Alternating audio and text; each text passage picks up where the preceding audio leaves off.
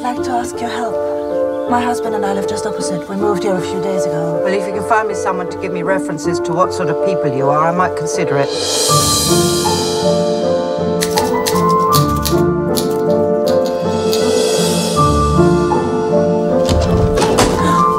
Don't you go disturbing me after hours. I'm not paid for that. Emerenc has never let anyone into her home. I have no wish to explain why I don't open my door. He opened a special file on Emerenc. All sorts of awful accusations.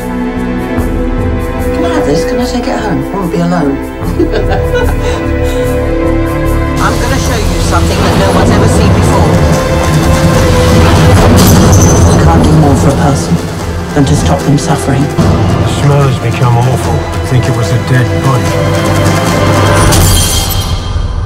The only way I can save her is if I betray her.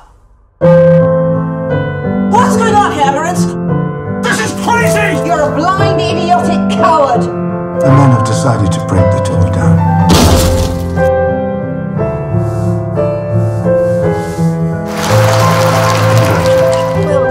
To hide my misery from the eyes of the world.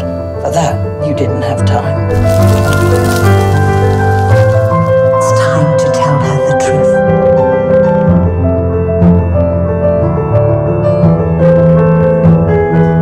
I'll never forget this.